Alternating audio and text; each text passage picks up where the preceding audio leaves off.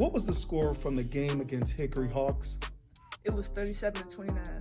How did you guys pull that off when you only had six players suited? Well, we run a lot during practice, so we already knew we were going to be very tired. Um, coach was very, um, he was very good at calling timeouts at the right times. He knew when we were winning, knew when we needed to get something to drink, and we automatically had a game plan going against Hickory, so we just executed very well. But you picked up your second foul in the second period.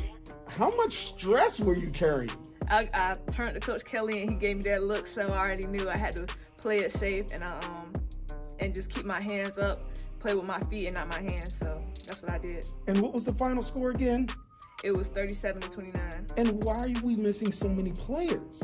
We're missing a lot of players because we play hard. I mean, when you play hard, sometimes you put your body on the line and you get hurt. So we have three players out that are hurt right now. So hopefully they have a speedy recovery. And by the time we get back on break, they can play in our next games.